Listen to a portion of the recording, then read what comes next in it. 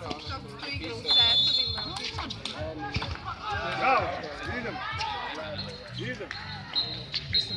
Sve glasovi. Dragi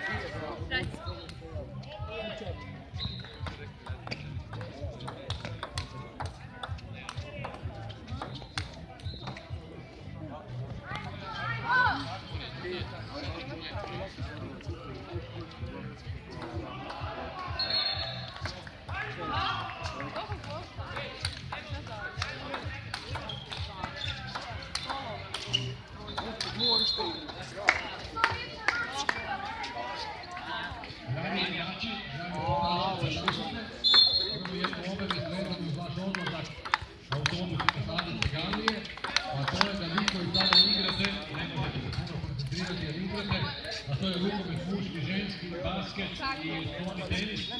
Pošto vaše utakmice kaže da radi ovdje jedan autobus ovdje pa će vas pričekati. Znači svi koji ste završili, lagano već možete krenuti prema vašim autobusima. Vi koji igrate, nakon utakmice ćemo organizirati autobus koji će vas sačekati